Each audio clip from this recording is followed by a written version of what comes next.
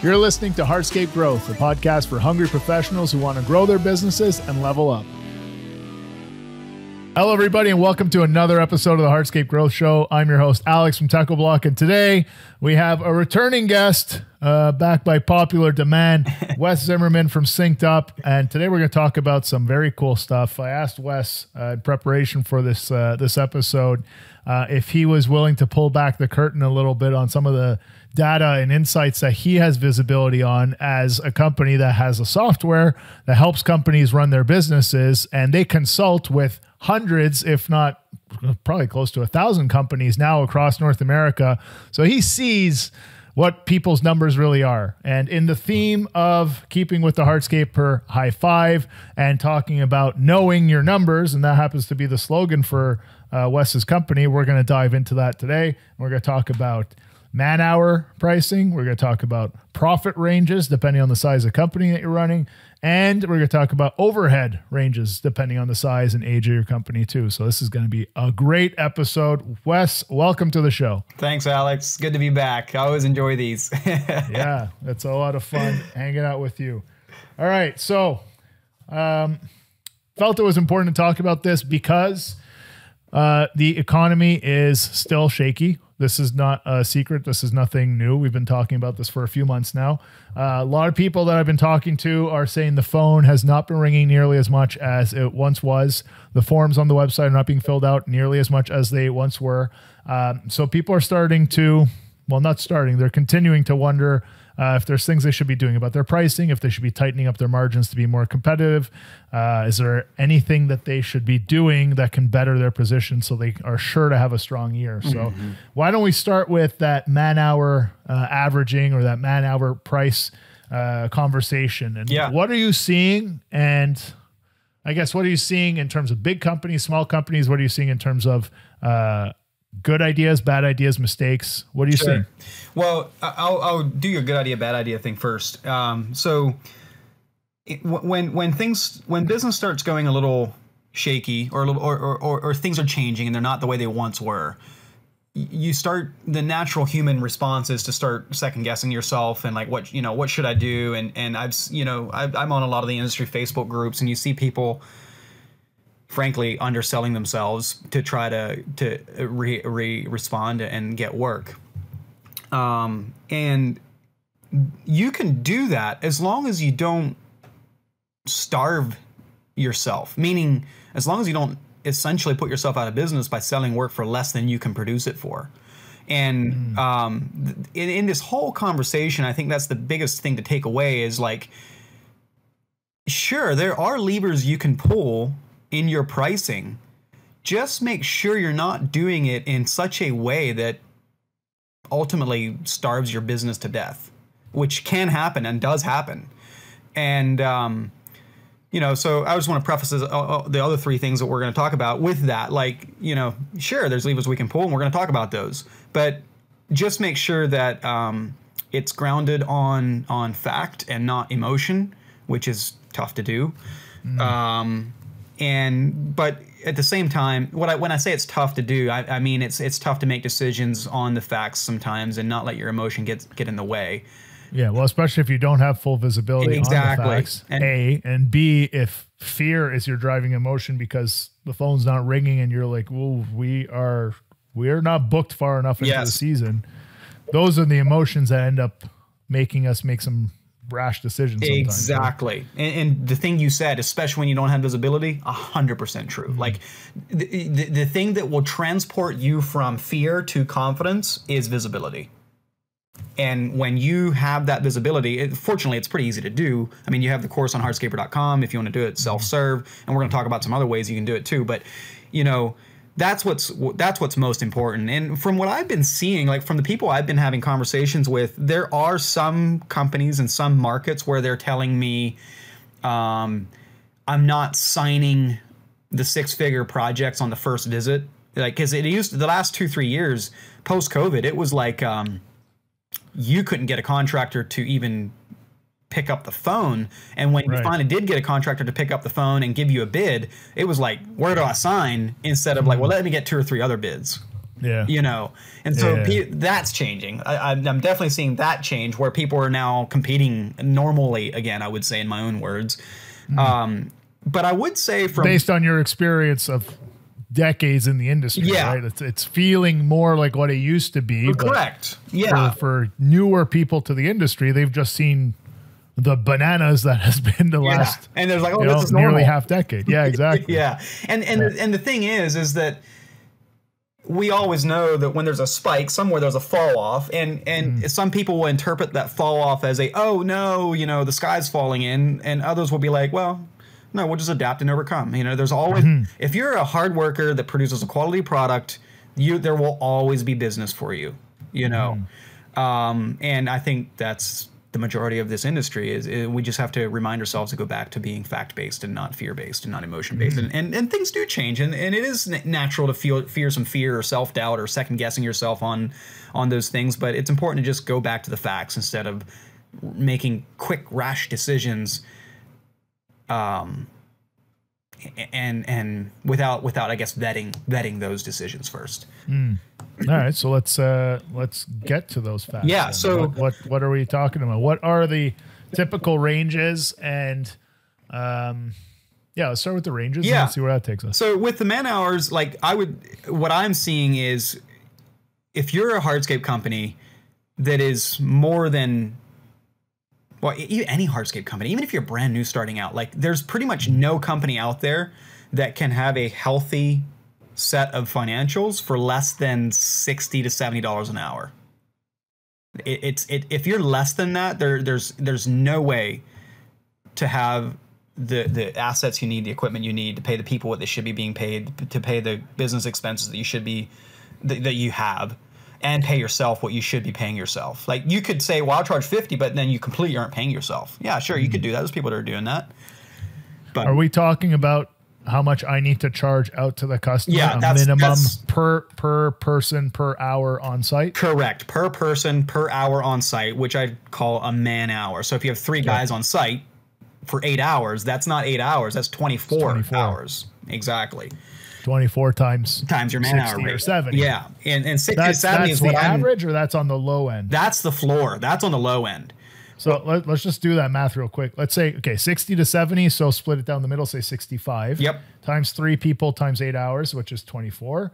That's fifteen hundred sixty dollars. One thousand five hundred sixty dollars.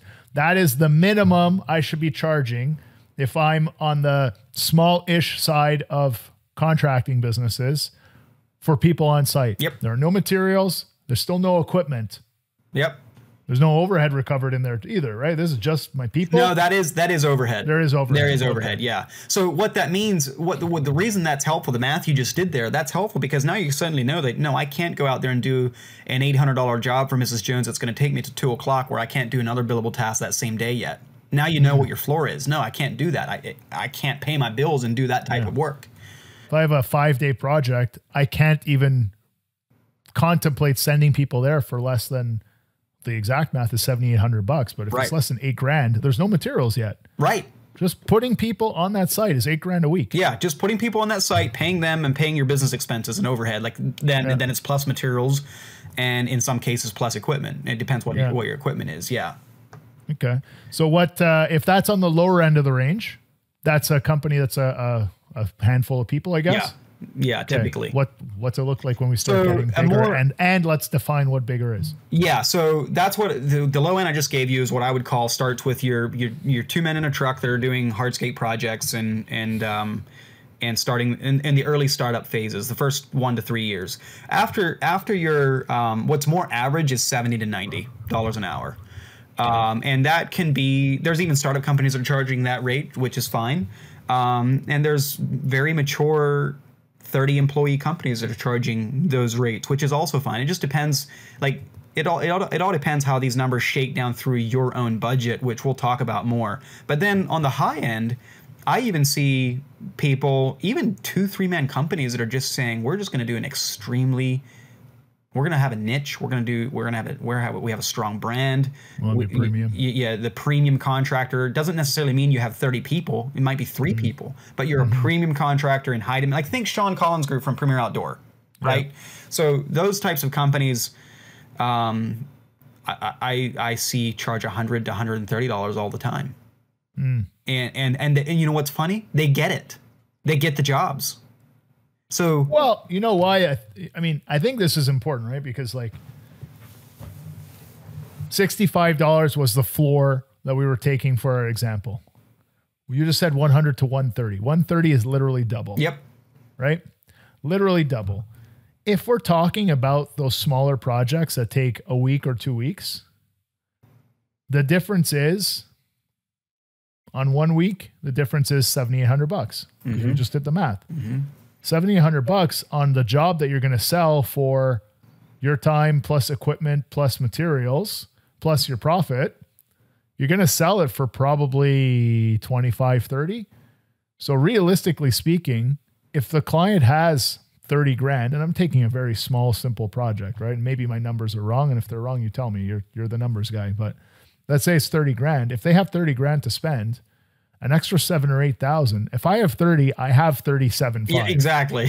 You know, if I have 40, I have 47. Five. Yeah. It's there. I can get it. Or you know? on the flip side, I will decrease the scope of work to meet my 40. right. You know if know- you're really stuck at that 40, no problem. I can run the cables for the lighting this year and we can come back and do the lighting next year. Amen. I can make this a square patio instead of all these funky curves. Yep. And I can get it down to 40. Yep. You know? Yep. That's that's the type of stuff to to discuss. But like it is possible, even in a down economy, to be charging the premium rates 100%. because there's not that much of a difference on the big picture of the project. Yeah. And to clarify, like some of the, the things you were spitting out with profit and et cetera, like the man hour prices I'm giving you are with your cost, overhead recovery, and profit all all included. So it truly just is materials and potentially equipment on top of that. Uh, And subcontractors if you're using subcontractors. I want to check myself. Is it? Am I naive when I say that?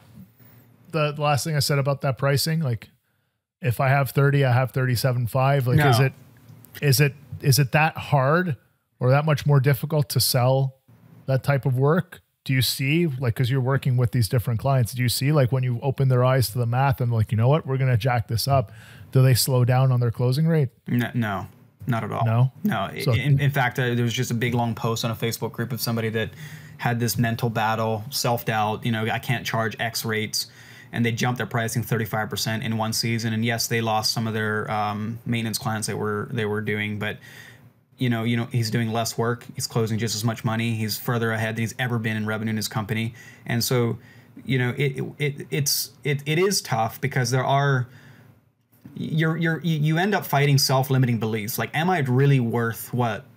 Am I really worth a hundred bucks an hour? Can I really charge that? How do I feel about myself charging hundred bucks? Can I look Mrs. Jones in the eye and say that I need hundred bucks an hour?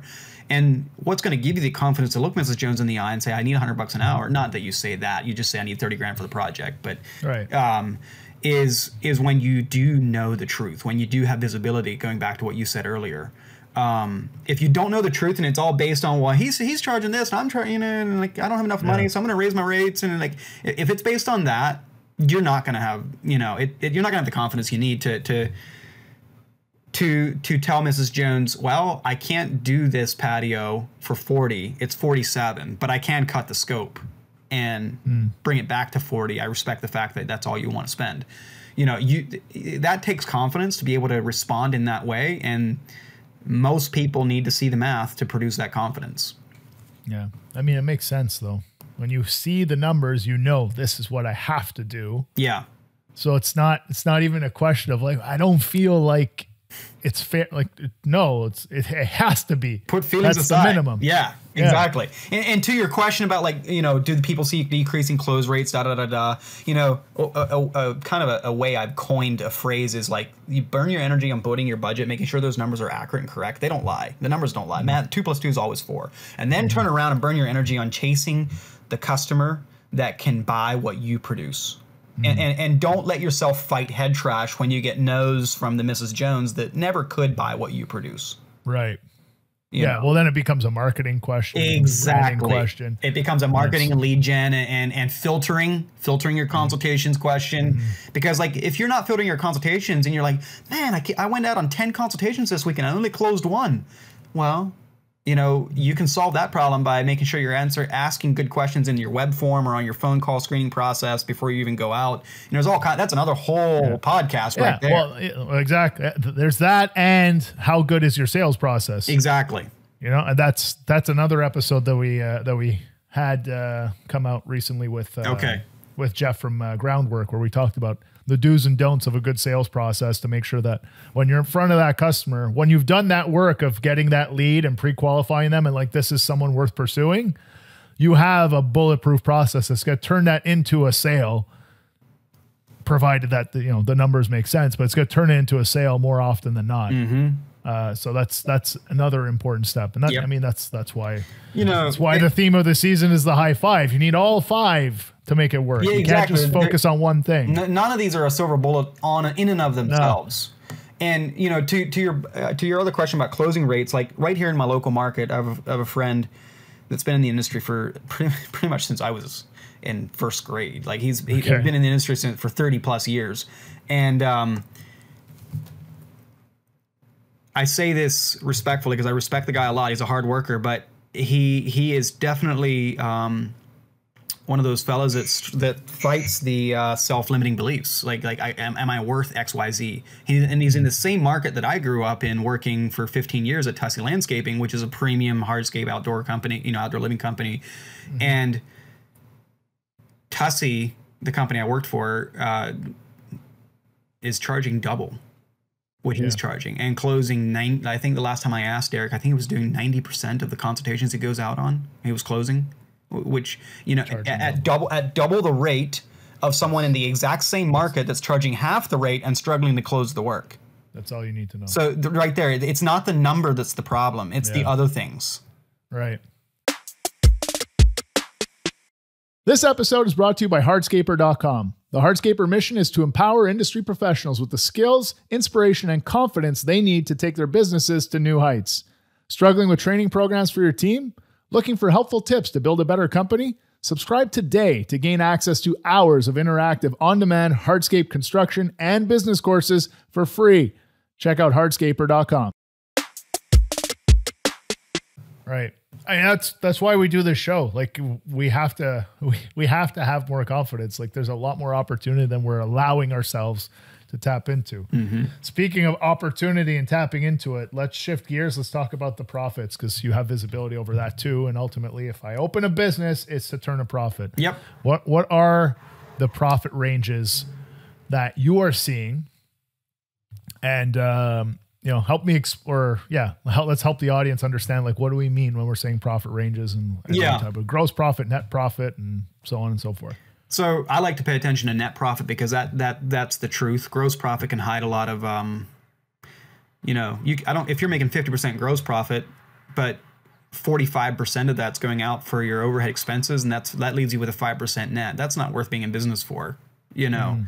And unfortunately, by the time in this industry by the with some studies that have been done by the time people truly pay all their bills and and and, and, and truly have what they're left like they're in single digits net profit which is again not worth being in business for. Um and what i when we help people build a budget we kind of have a policy of like we're not going to let you walk away with a budget that's less than 10% net profit. If it's less than 10% one little mishap and believe me the mishaps will happen can wipe you out you know? And 10% even is not really enough to to produce the capital needed to quickly scale a company. You could grow a company over 30 years to a five ten million dollar landscape company at 10% net profit but you won't be able to grow from 1 million to 5 million in five years at a 10% net profit. There's just not enough capital there and so it depends a little bit on what your goals are for your company. Like, are you looking for slow growth, lifestyle business? Are you looking to scale and sell? Like, what, what are your goals?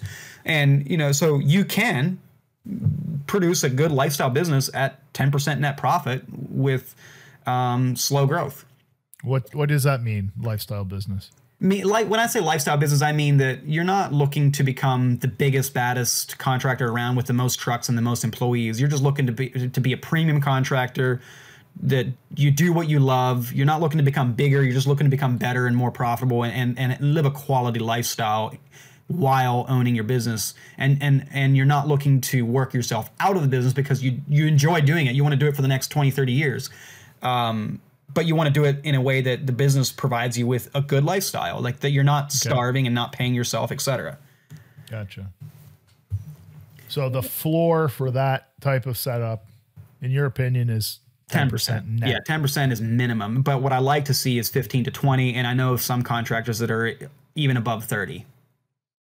Um, and um, and again, it's funny how you know the same is true for the, the thing we said. Well, here's two contractors in the exact same market. One charges double, and the and the, the one that's charging double has a higher close rate than the one the one that charges half. You know, it's interesting how that works. And so, well, there's I think there's a psychology involved. There yeah, too. there is. When it's, you're when you're too cheap, people are. Like, eh. Hundred percent. Yeah, it, I have. In, think of think of experiences with yourself. I don't know. Go hire a plumber. Or, I don't know. Go hire a contractor. Yeah. Like if you get the cheap guy, you, like I don't want the cheap. Yeah, I'm like, eh, how many problems am I, am I gonna have yeah. by hiring this guy? Like, I just want to know it's done and I, and I don't want to have problems, right. you know. Exactly. I want it done, and I want to forget about it after. Yeah, like it, exactly. I forget it ever happened. So you know? if you're if you're struggling with self limiting beliefs around price, just know that like the price is not. Yeah. You know, people you will lose a job for being too cheap. I I, I can tell you stories yeah. about that's happened. You know, dude, hundred percent. Yeah, but hundred percent. Back to the net profit it's got to be a minimum of 10% and and that w- that won't produce quick scale. That'll produce a slow growth over many years. Um, 20% will produce more capital that will allow you to scale more fit more effectively more quickly. Uh, i like to be in that 15 to 20% range. Anything over 20% is a bonus. But the the um, the thing that i'll clarify is this is after you've paid yourself a take home salary like the business needs to make this profit after there's literally not another bill left to pay and you've already paid yourself your living wage. And you can go out there and get a job. If, if, if you're a hard worker and develop, you know, develop your skills, you there there's there's no reason you can't have a six figure job um, out there in the market in the workforce. Right. Right. So it is possible. Yeah. So if you would develop if you would pour the same amount of energy and, and sacrifice into your job as you do into your business, you would have a six figure job. No, no, you know, you would. So, mm-hmm.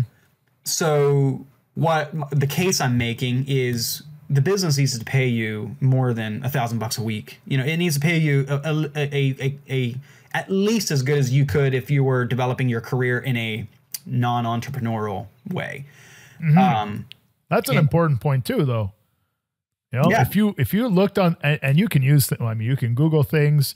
You could even uh I've I've really liked playing around with Chat GPT the last few months, but just just even saying like what would be the job position of someone who does this, this, this, this, this, this, this.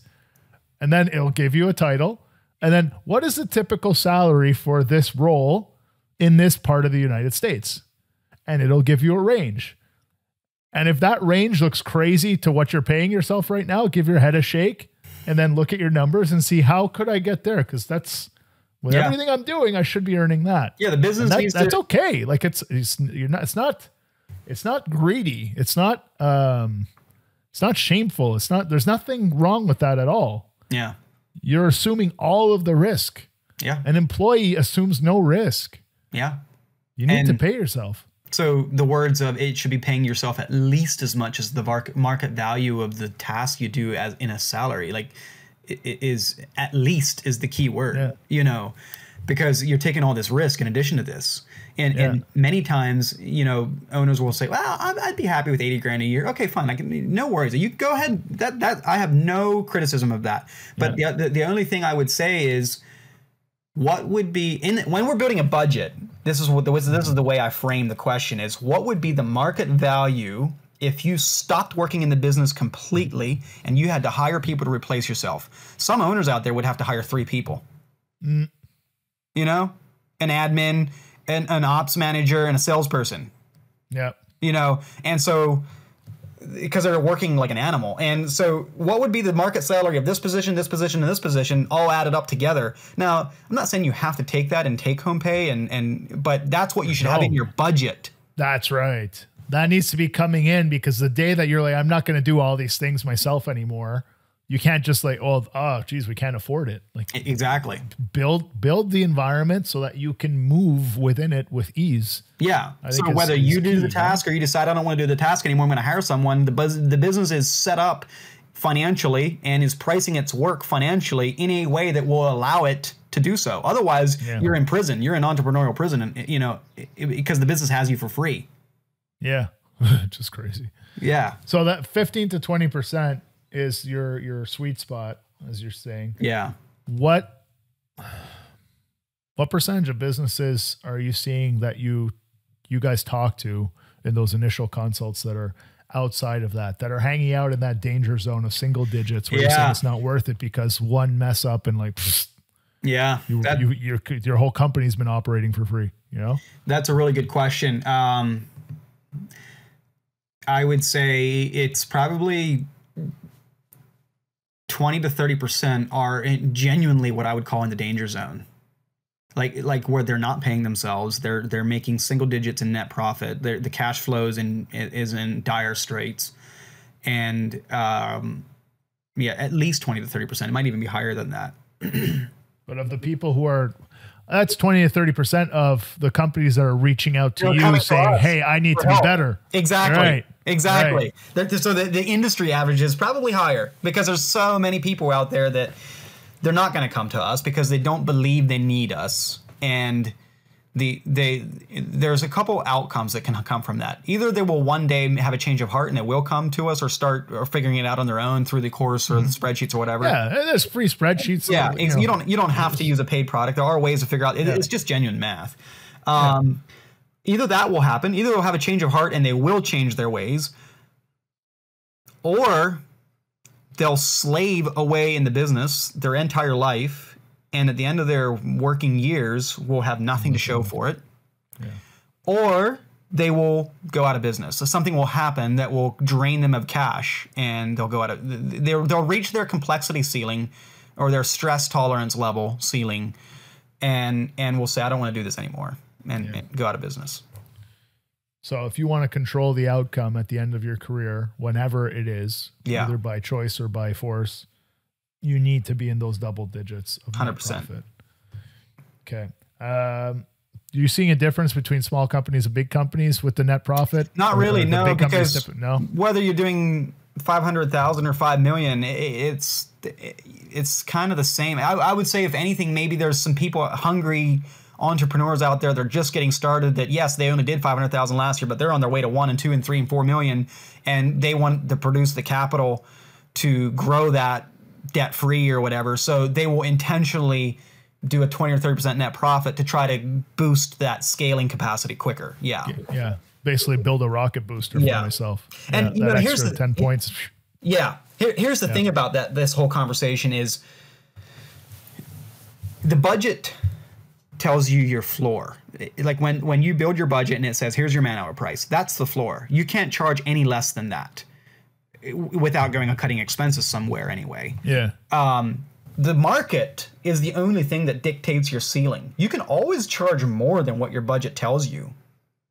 But you can't charge less. Like it, the only the, the market dictates what I mean by that is like if you even in spite of excellent sales, excellent consultation filtering, excellent lead generation, in, if you in spite of having a really strong position in those three things can't sell work, now you've found your ceiling.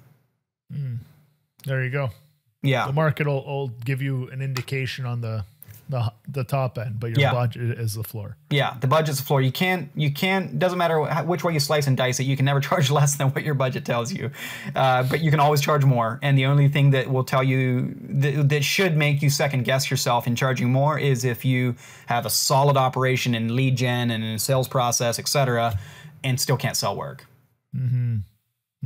And there is a case to be made sometimes, and you know, with economic external pressures like economic conditions and all of that. There is a case to be made sometimes that like I do need to lower my price. So what I will do to lower my price is go cut expenses, go cut assets, go cut and, and, and adopt a bit of a different business model so that the end dollar per hour or the end uh, uh, price is is less than what I had been because really what dictates that is what business model do you have? Do you have a fleet of trucks, highly paid employees, skilled, you know, eh, Eh, there's going to be a price tag for that. Are you are you running a commodity service where it's it's in and out, not really custom work per se. You kind of have your kit of your suite of things that you do and you're you're extremely focused on efficiency as opposed to custom works of art. Then yeah, that that's a different model and you can you know you can swing your pricing based on adopting different models like that. So I kind of want to explore that a little bit. Like, do you have any any concrete examples of what those changes could be, where I'm not compromising on my margin, but I am lowering my expenses to position myself to be more competitive because the market is a little lighter and I'm still hungry. Yeah. So, um, one example would be quite often, you know, people like toys, uh, uh, and quite often we run into companies that they frankly have way too much overhead in in equipment.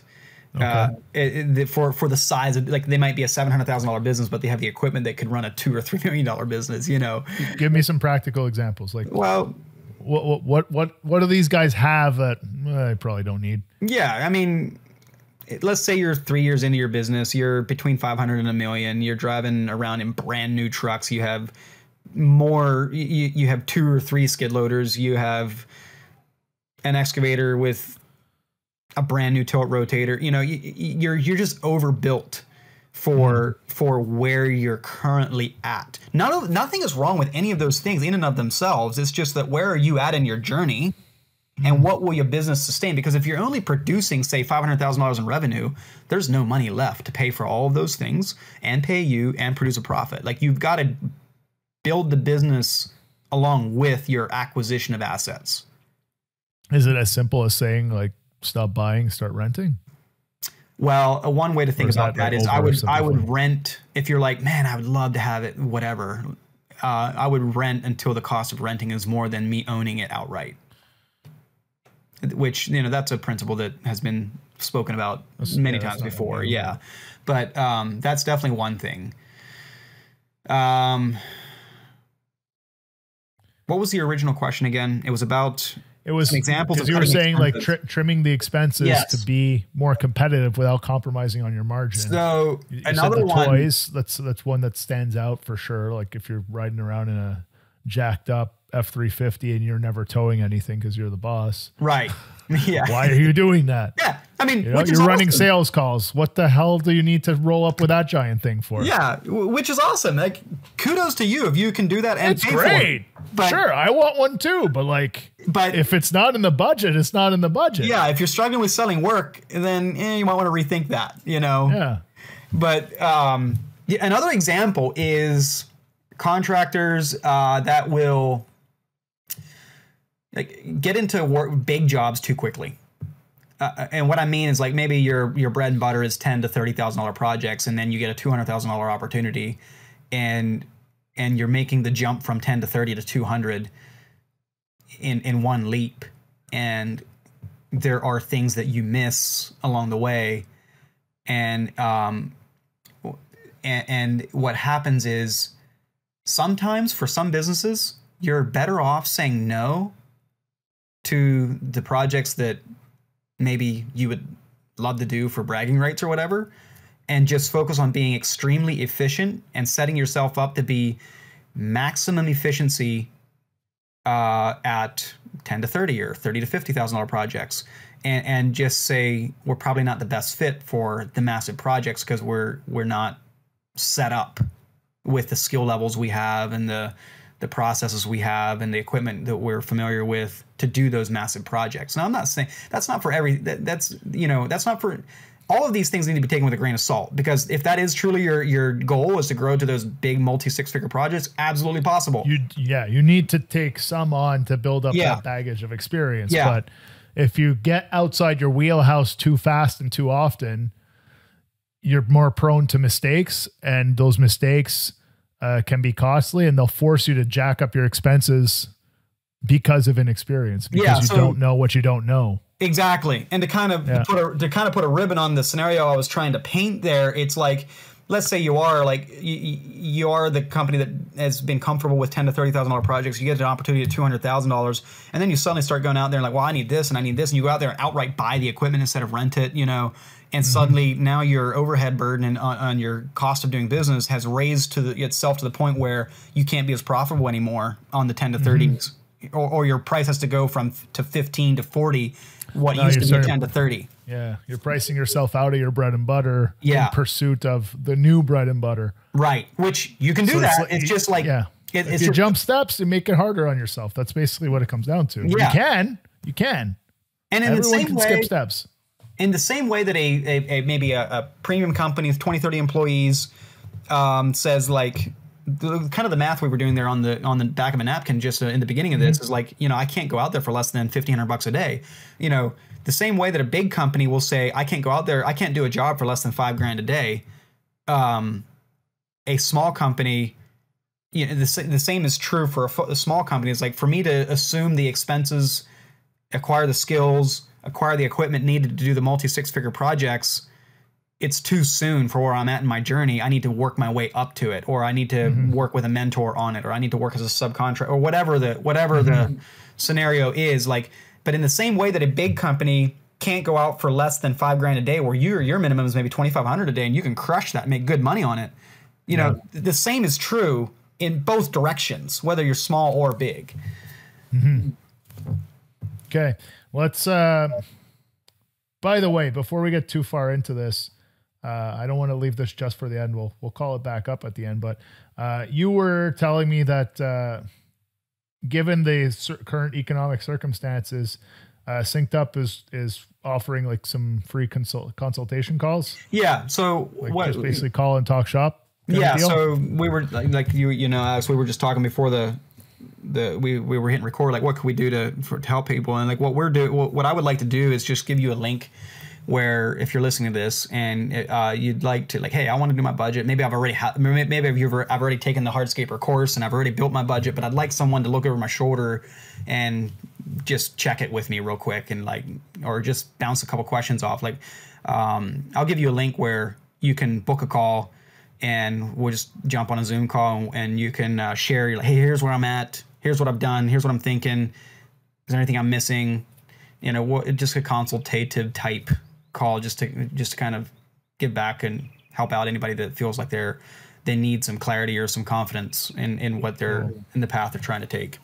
Yeah, well, I mean that's that's great because that that's right in the in the spirit of uh, why we do the show, and it's a perfect example of adding value to the relationships that we have with our listeners. So we have that free course on hardscaper.com.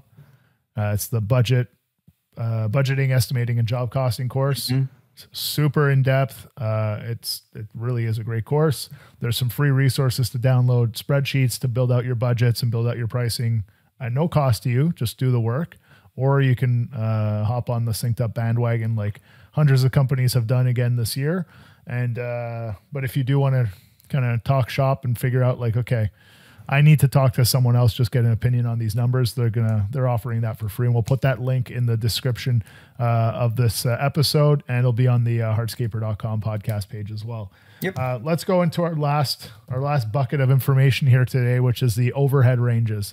And this works well because the last thing we were talking about was you know managing those expenses and understanding how you get too big too fast, or you try to take on too many things too quickly.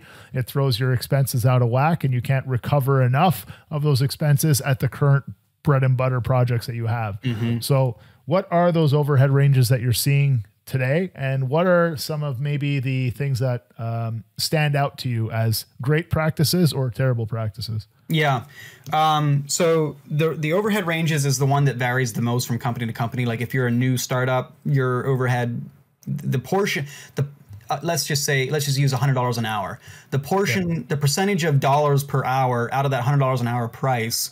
Um, that go to overhead expenses will be less for a smaller company, uh, maybe even a newer company, a less skilled, more high, more efficient, less less custom type company.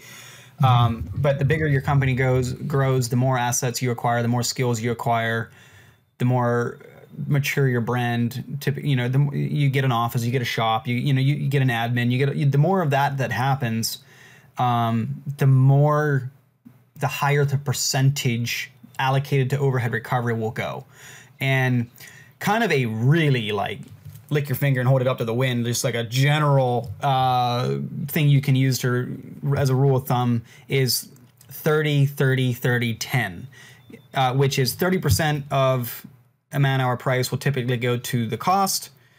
30% or 30% of a job price will typically go to the cost of um, labor 30% will go to the cost of material 30% will go to the cost of overhead 10 will go to profit now take any of those and give or take 5%, and you could end up with 20 or 30% profit. And some people are going to say, well, I want more than 10. So that's a terrible rule of thumb. Well, yeah, I, I get that. Take it with a grain of salt. But like, it's a guideline. Yeah, it's, it's a, guideline. guideline. So, but yeah. the 30, 30, 30, 10 means like, you know, if you have $5,000 worth of expenses in labor, $5,000 worth of expenses in materials on a job, you probably already also have $5,000 worth of overhead expenses to do that job. Hmm. Plus, you need your profit. You know, so that's a good way of which is why people will sometimes say take the materials and triple it. that's a terrible way. Don't, don't, ever bid a job that way. But that's a that's a good place. That's a good way to arrive at a rough. You're still forgetting the profit out of there, but yeah, yeah, yeah. yeah. So, um, but so the point I'm making to answer your question is your overhead percentage, even in a new company, is not going to be less than thirty percent. Or if if it is, it's it's it's probably not it's probably an unrealistic picture meaning you're not paying yourself or you're operate you're not mm. you're not putting your trucks and, and stuff into your over you know there, there's something that's off or maybe maybe unique you know i'll give room for that you know about you about your business model um so and, on on a fifty thousand dollar job and, and, maybe actually maybe you know this information uh, do you know what the average job is selling for right now i i don't know that off the top of my head no all right but let's say it's 50. Yeah.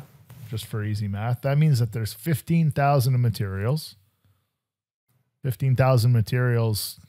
I mean, it doesn't go as far as it used to. So when you put all, everything together, it's maybe maybe a thousand square foot patio with a little fire pit and simple seating wall and mm-hmm. some plantings. Mm-hmm. Maybe that's what we're talking about. Maybe there's some lighting in the planting beds and stuff. That's probably what we're talking about as a job. Uh, so 30% of that is your, uh, sorry, 15,000 would be the materials. Mm-hmm. Yeah, you could swing that, I think. 15,000 would be the labor. Which that's also gone up. Same, same, same story. Yeah. You know? Yeah. And 15,000 would be your overhead. Mm-hmm. And if you're like a three person crew, that 15,000, that's a, it's a, we're talking about a close to a two week job based on the math that we did. That's mm-hmm. an eight or nine day job mm-hmm. which yeah, 50,000, eight or nine day job, three people, you know, pretty, yeah. pretty light on the equipment. We got a skid loader or dingo or something like that. Mm-hmm. Uh, yeah, it would make sense. And then 5,000 would be my net profit left at the end. Yep and that's assuming it's a 10% net and you know you could yeah all of these numbers are you could tweak until you arrive at a 20% or whatever like yeah. it, it's these are rules of but there's not that much left at the end is, is no. the, the, point you know like no. it's a lot of money exchanging hands but what's left at the end as profit for the company there's not that much and that's if everything goes well and you did your math right exactly and what trips people up is like in those numbers 15 for labor and 15 for materials you take we that out there. there's still yeah. 20 left Right. And it's easy to look at the to cash that check and be like, bam, I made 20 grand in pro hang on a sec. oh, oh, oh, oh yeah. yeah. And and and the unfortunate reality is is if you if you tell yourself, great, I made 20 grand in profit, the truth does not make itself evident and force itself into your awareness until much later in cash flow. Mm. Yeah. So you can survive telling lying to your not lying to yourself. You can survive with a false well, ignorance is bliss. Right? Yeah, that's, with a false perspective for some time. Yeah. Before this finally catches up with you. Yeah. In which, in a, another way to think about it is like five grand on a fifty thousand dollar job. Yeah, that's why you can't negotiate from fifty to forty five. Exactly. Without changing any scope or changing anything. Yeah. And if you're type of person that likes to negotiate, then we'll start at 60 or start at 57 or something. you know, like- the way I like to say it is negotiate on scope. I will negotiate on scope Yeah. all day long, but not on price. Yeah. exactly. You know, What uh what was I going to ask you about overhead? What are the things that go in overhead? Some Yeah. I mean, I'm sure a lot of people listening know Well, but that- let me rattle off a couple that people often miss. Um, often, often people are working from their own property or something. They don't have, they're not paying for a shop per se. Um, I, I'm like, I, the way I like to think about that is like, okay, fine. The business is not writing a check to a, to rent a property or a shop, but it needs to, it needs to pay you because you own the property or you know, you know whatever the market rate is of let, us say you could no longer operate your business from where you're operating it what would you have to pay market rate to go continue operating like that should be in your budget whether it's being paid in cash or not And what if I said like, like, it's my house, it's my property. I have like ten acres. What? What? Who cares? Why do I need to pay myself? I own it. because let's say that um, i mean let me just try to draw a scenario that might could be real life let's say the township Yeah, I'm putting out- you on the spot yeah, here. So let, us say the township comes out and says no you can't do this anymore you have to go oh, you have zoning, it's not zoning it's zoned- changes. Yeah, you, it's Okay. zoned residential. You can't operate a business from here. Um, and for some of you, are like, "Well, I live in a in a rural." uh, Fine, whatever. Take the analogy and run with it. But like the the point is, is the the point is, is the business has to be set up financially on its pricing that it can pay for all costs of doing business, whether those costs are are are actual real cash costs today or not. Like you would mm-hmm. want to be able to be to move and start paying a market rate for a, a, a lot or a or shop or something and not have to change your pricing. Mm-hmm. You know, the business, the business, if you have the luxury of not having that expense on your profit and loss, that's a luxury. And, and, and you don't want to bank, you want to budget for worst case scenario. You don't want to bank on that being true forever. Best case, yeah. Yeah, exactly. And What which- are some other brings- things that people miss? which brings, Oh, sorry, and- go. Eh, I was just gonna say, which brings an important part in this whole budgeting thing. Always budget for worst case scenario. You know, if you think you're gonna spend twenty grand in fuel this year, put in thirty. If you think you're gonna spend X in materials this year, bump it up five percent. You know, whatever. Like you should always budget for worst case scenario because then when worst, if you budget for best case and worst case happens, guess who pays for it? You do. What was supposed to be your profit goes to pay for it. Yeah. And if you do that too badly, and many people do, if that happens too badly, um, you literally run yourself out of cash. yeah. You know, but other things that people miss, um, well, not paying themselves at least, or, or, or not paying themselves a, a true market value uh, um, is another big one. Constant. Um, another big one is equipment. So people will will say, "Well, it's paid for. I bought it three years ago, and I paid for it in cash, and it doesn't. I don't have a payment for it. It's just maintenance and fuel." And um, okay, sure, but let me that that piece of equipment is depreciating every year. Meaning, like you bought it at say a hundred grand, and you're going to keep it for I don't know, let's say ten years, and you're going to sell it for twenty grand. It depreciated eighty thousand dollars in those ten years you owned it and and in those 10 years that meant it depreciated $8000 a year. That is an expense that does not show up on a profit and loss statement which is why it's so tricky. But it is a real expense to your business and it's a big one. So you know there's two schools of thought with equipment which it, we talk about this in the course on hardscaper but it, it's like you can charge for equipment by the hour or by the day. Like charge for it as a line item on your bids or you can count it as an overhead expense and it's just baked into your hourly rate. Both are viable options. Both have pros and cons. You just have to make sure you know the pros and cons and make sure you don't fall into the con trap of any of the option you choose. Um, and we, we talk about it in depth in the course so i would tell you to go there to, to learn if you're not sure what you want to do but um, that's a big one because people are like they have all this equipment that's depreciating and they're not bait they're not factoring it into their pricing anywhere. And it doesn't catch up to them until they need to go replace it. And then they were pricing their work for the last umpteen years as if they had that for free. And now they have to write say a hundred thousand dollar check or an eighty thousand dollar check to go replace it. And, and and they haven't been They're pricing their work to produce those funds. Yeah. So what was going to be your profit goes to pay for it. Mm -hmm. Yeah. Well, that's that's a good one. So not paying for the space that you're using, even if it is your own home and you own it and it's paid for, Yep. you should still be recovering that because you may need to move. Yep. You you may want to move. Yeah, you may So want to move. may not be- Exactly. Uh, not paying yourself, obvious one. Uh, not recovering equipment, even if uh, it's paid in full, Mm-hmm. and not recovering uh, depreciation of assets. Yeah, and, and the equipment and Which depreciation kind of goes in that assets, equipment, kinda- but I mean, uh, you yeah. have other assets too. Exactly. E- depreciate, right? equipment is one asset. And the other the other thing I'll, I'll just put on to that is because people will sometimes bring this up is like depreciation from a tax perspective, what your CPA tells you when you're filing your taxes, and depreciation from a budgeting perspective to find out what you should charge in your business are two different topics. They're, yes, they're, they're we're using the same word, depreciation, but radically different uh, factors at play. So don't go off of what I'm trying to say is don't go off of what your CPA is doing for depreciation on your assets That's on your taxes. thing. Yeah, it's a that's different, thing. Yeah. okay. Uh, Wes, anything else you want to add on this subject? We've covered man hour pricing. We've covered profit ranges. We've talked talked about overhead ranges. We've talked about do's and don'ts and common mistakes and pitfalls. Uh, anything else you want to add here before we uh, sign off for this week? You know, I, I would just say, you know, we can have fun having these nuts and bolts conversations about numbers and how two plus two equals four all the time, and it's fun. It, it- you know, for me anyway, it is. I enjoy it. but, we do. um, but at the end of the day, just, just take, just remember this. If you remember anything, at the end of the day, the numbers are what they are. You can't change the numbers. You can't argue the numbers. It, it's like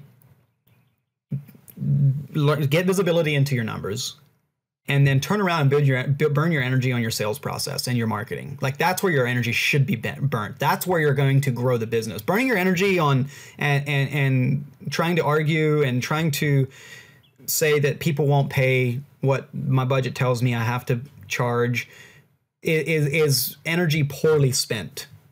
You're you're you're much better off just the numbers are what they are turn around and burn your energy on developing yourself as an, a machine of a salesperson or an excellent sales process excellent marketing lead gen brand development you know. That's where your energy should be burnt. That's what's going to grow your business. Arguing with the numbers and and fiddling with things to try to shave 3% off your pricing isn't to isn't to grow your business Do the math, lock in the numbers. Once you know, build for Right. that. yep Yeah. yep Awesome. Wes, thanks a lot for uh, joining us on the show. Once again, that link for that uh, uh, calendar booking is going to be in the description. The course is on hardscaper.com. It's entirely free. All you need to do is uh, create an account, which is free.